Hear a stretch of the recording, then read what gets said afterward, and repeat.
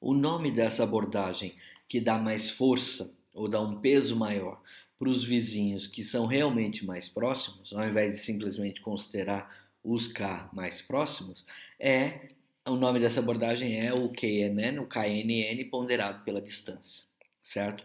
Então, na verdade, o que a gente faz é, ao invés de simplesmente contar, olha, um mais um para cada vizinho que seja da classe A e depois contar quanto e zero para quando ele é da classe B e depois contar quantos são da classe B, igual a gente fazia anteriormente, ou seja, achar a moda e aquele que é mais frequente, a gente multiplica isso por um peso e esse peso nada mais é do que 1 sobre o quadrado da distância.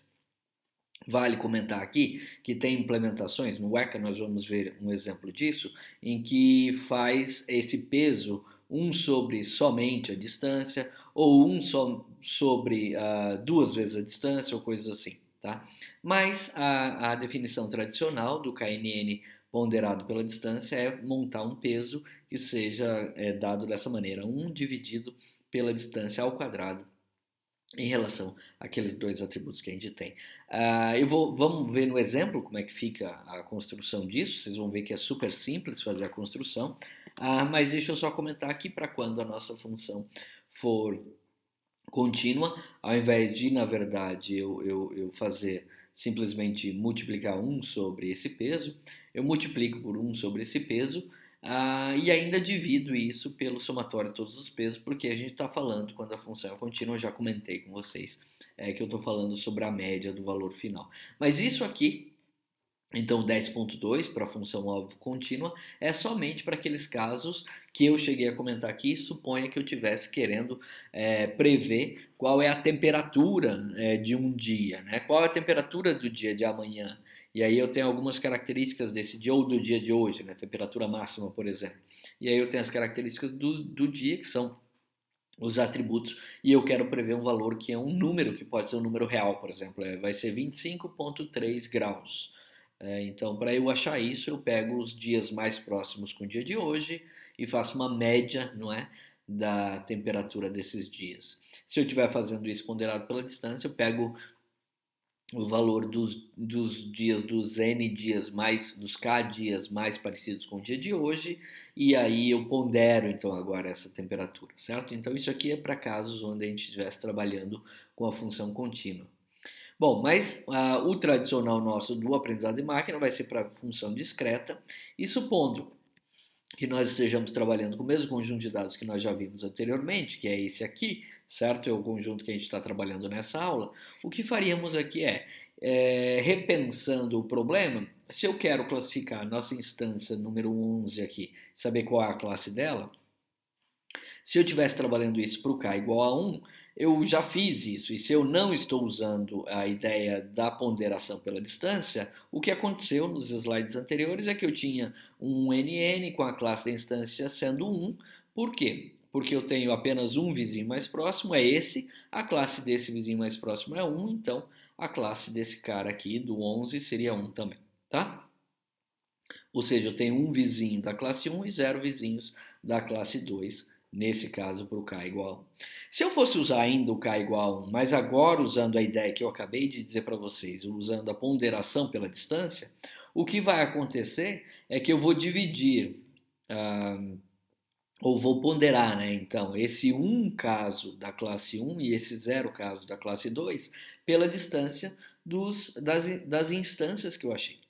Isso acontece da seguinte maneira, eu ia ter que trabalhar assim, olha, eu tenho um exemplo, tá aqui, que é um exemplo, que é esse aqui, certo?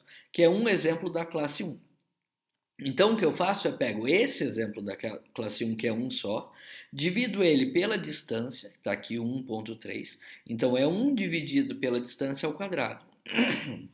Isso vai ser igual a 1 dividido por 1.69, que vai ser igual a 0,59, tá? E da classe 2 eu tenho 0, instâncias, dado que eu estou falando de um único vizinho mais próximo. Como o meu K é igual a 1, eu tenho um vizinho da classe 1, que é esse, e tenho zero vizinhos da classe 2. Então vai ser zero dividido por uma distância que eu nem sei qual é, mas zero dividido por qualquer coisa é zero mesmo, o que não muda. E a classe continua sendo a classe 1 para eu classificar essa instância número 11. Percebam então que o que eu fiz aqui foi simplesmente o seguinte: ao invés de dizer que eu tenho é, um vizinho da classe 1, certo? Uh, e que eu tenho zero vizinho da classe 2, eu disse que eu tenho uma proporção de 0,59 vizinho da classe 1.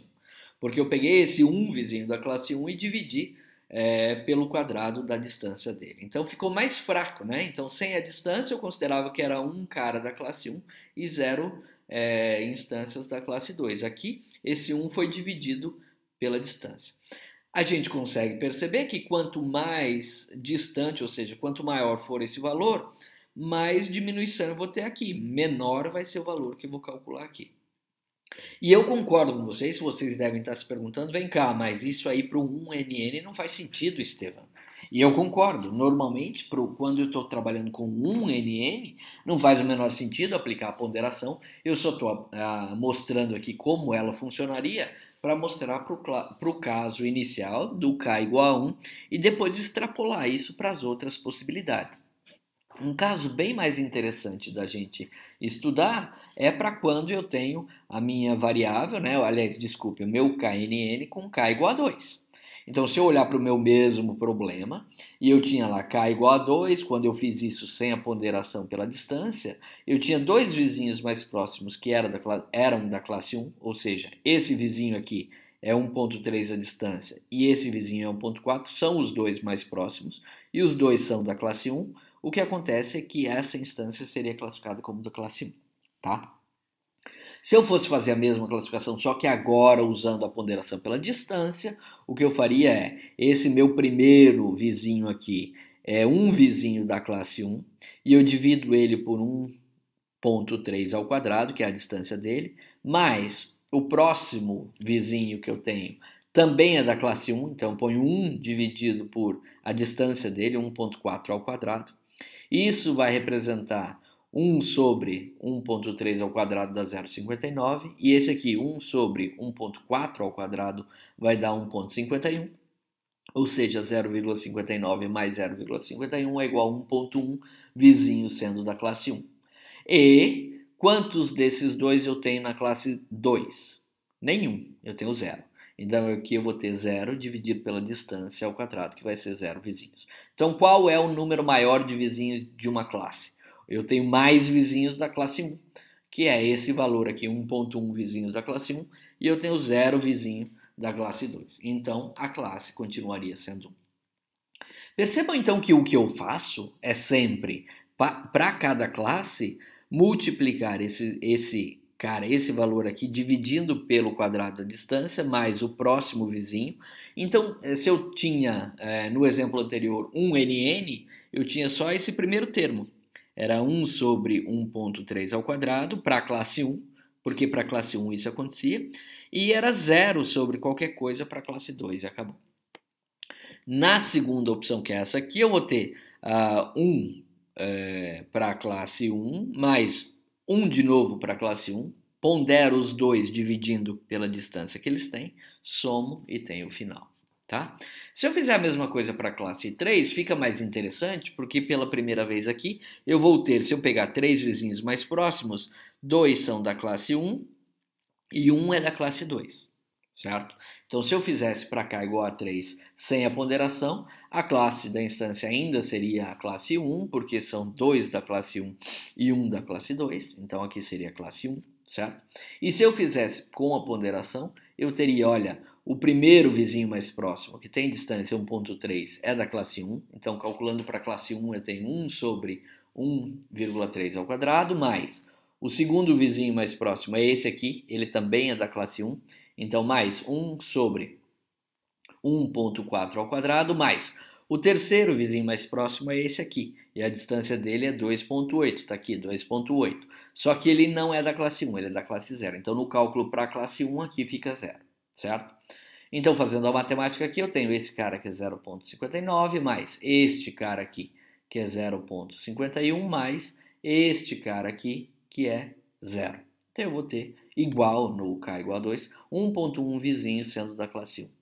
E agora, para a classe 2, percebam que o que eu tenho é zero vezes uh, zero, na verdade, sobre 1.3 é, ao quadrado, mais zero sobre 1.4 ao quadrado, eu nem pus, certo? Mais 1, nesse caso lá era zero, agora aqui é 1, porque esse é o cara da classe 2, 1 sobre 2.8 ao quadrado.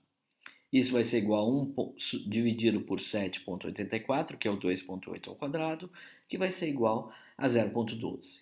Então significa que eu teria 1.1 ou algo relativo a 1.1 vizinho da classe 1 e algo relativo a 0.12 vizinhos é, da classe 2. Então eu tenho mais vizinhos da classe 1 do que vizinhos da classe 2, então a classe continua sendo 1. Tá? Esse é mais ou menos o processo que a gente vai fazer.